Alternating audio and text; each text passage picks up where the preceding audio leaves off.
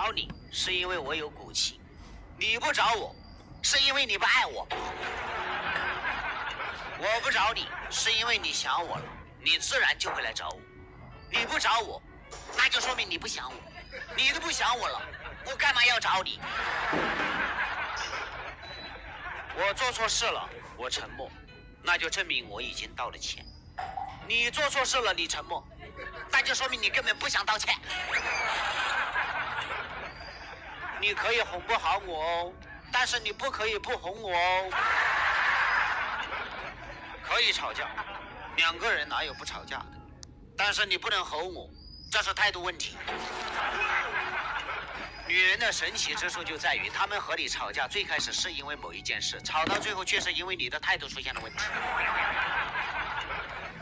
女人的逻辑，我不找你是因为。